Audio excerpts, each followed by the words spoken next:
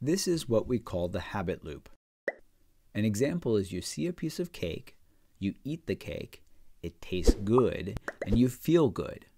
Because it feels good, the brain quickly turns whatever you did into a habit, the habit loop trigger, behavior, reward. It turns out that things that make you feel good all have pretty much the same result. When something unpleasant is happening, you of course want to make it stop. What does your brain do?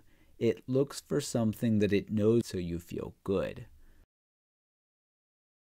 So let's say you're stressed at work. Rather than deal with whatever's making you stressed, your brain looks for a feel good habit to cover up the stress, like eating some cake. This is called a distraction habit loop.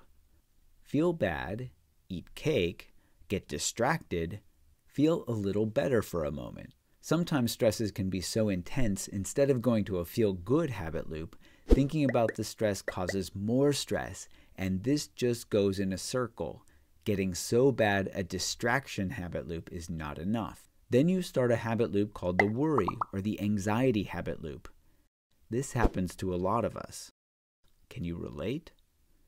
What these habit loops have in common is that they happen without you even knowing it. It's like you're a passenger in a car being driven by your brain's habit loops.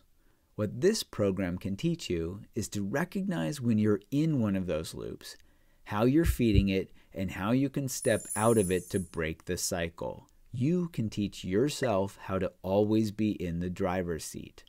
Learn more by checking out our website today.